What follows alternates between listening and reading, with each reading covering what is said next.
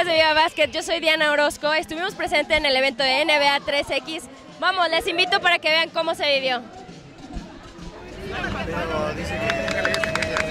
no manches, tenía un paso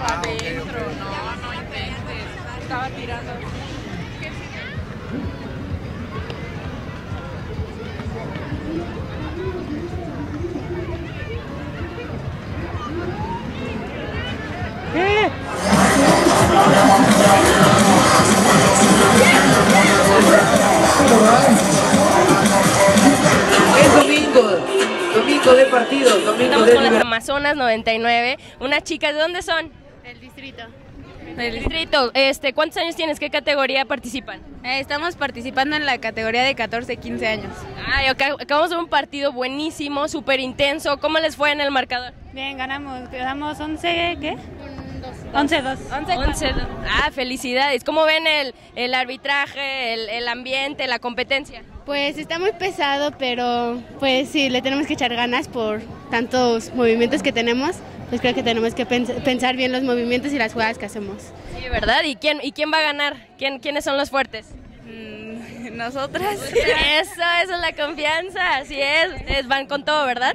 ¿Y cómo ven este el ambiente, la música, los chavos clavando? la- Ay, es muy padre estar aquí, la verdad, porque es mucha convivencia y hay muchas actividades. El derecho las rimas que metan uno.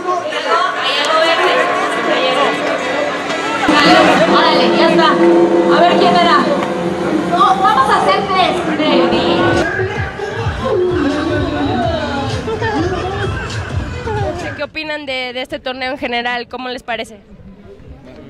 Pues está bien, ¿no? Que, que hagan que convivan las demás categorías, todo en el básquetbol, ¿no? Está bueno que hagan concursos y todo eso. ¿Sí? ¿Cuál es su concurso favorito de los que nos trajo la NBA esta vez? El de clavadas. ¿El de clavas? ¿Lo vieron ayer? ¿Sí? Sí, estuvo muy padre. ¿Y por qué se llaman costeños verdes? Porque venimos de nuestro equipo.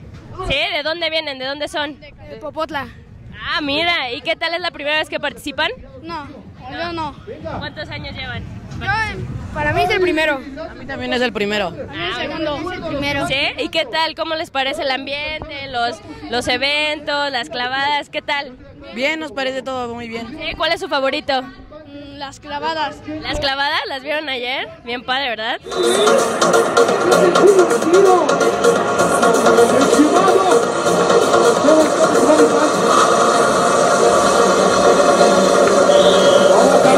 Hay tres metros